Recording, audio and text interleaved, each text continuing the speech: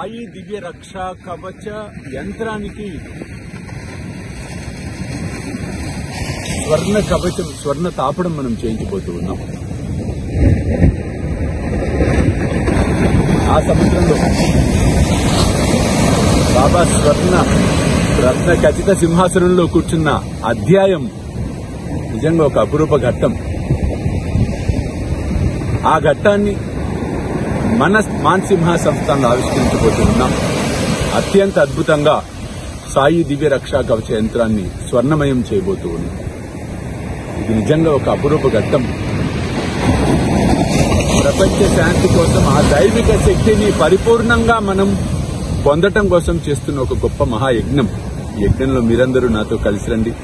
ఆ సాయినాథుడు కృపకు పాత్రలు కండి జై సాయినాథ్.